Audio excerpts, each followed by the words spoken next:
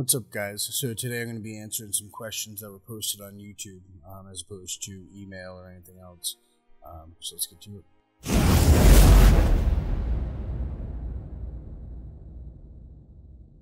So the first question I have is from Jay Dobermann. Uh, he says, "Since one of the bases you talk about is investigate thoroughly, how did you begin to investigate the movement of funds in that dark ecosystem?"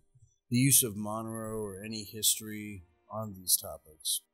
Um, so to answer this question, I think it's the the investigation strategy that I used was kind of the same that you see, you know, in everywhere else. It's just learning about that individual technology first. So whether it's studying, you know, Bitcoin or studying Monero and learning how that technology works, you know, is it safe? Is it secure? Where's it come from? How's it formed? You know, if you know who formed it, um, all those different things. You know, I think I think the best way to understand anything is to understand it at its root, at its base.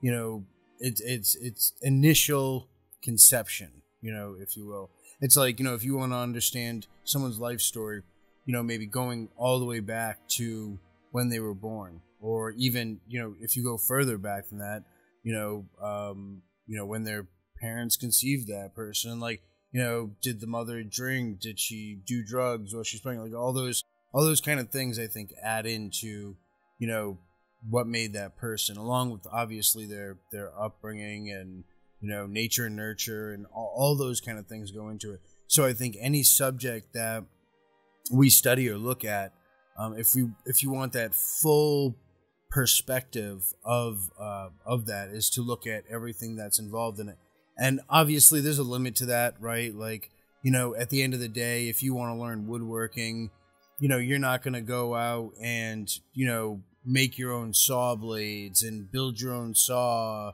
mill and like, you know, all this kind of, you know, crazy stuff. You know, you're not going to be out there forging iron like it's Minecraft or whatever, you know, to to make your own tools. It's just not practical to do. But there is a level of, you know, research and, you know, how in depth you want to go. I think really depends on the situation that you're studying that subject matter for.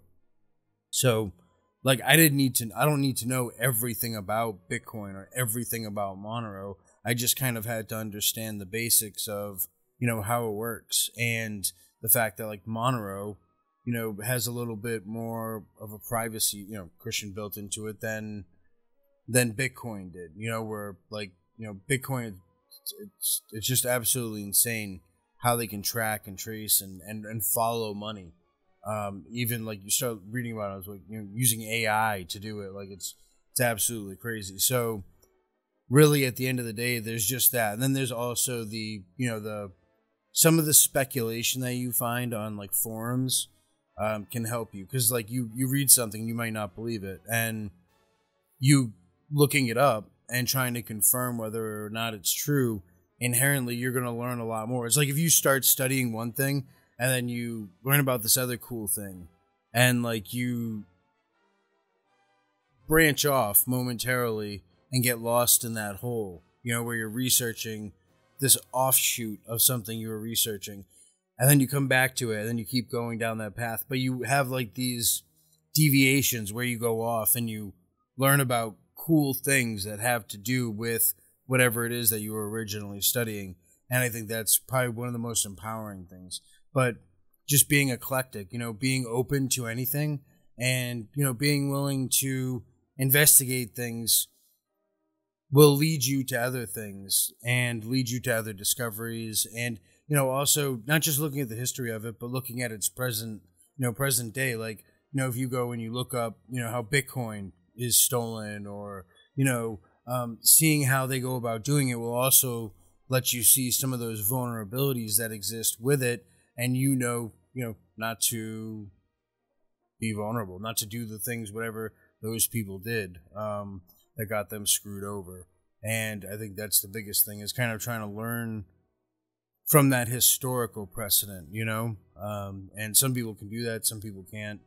Um, I'm pretty bad at learning from history, uh, to be honest with you, but it's just it's a learning process, you know. And the the biggest thing is is is just getting better in time, you know, like being being wine and aging well, um, and getting better with time, as opposed to being like fruit and becoming rotten, putrid. Um, and I think that's that's the biggest thing, you know, is is making yourself better in time, not worse. And uh, I just totally digressed off the question that you asked, but um, I think I think I answered it right.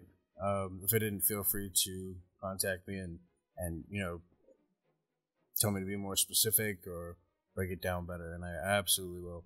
Um, thank you for your question, Jay Dobermann. I appreciate it.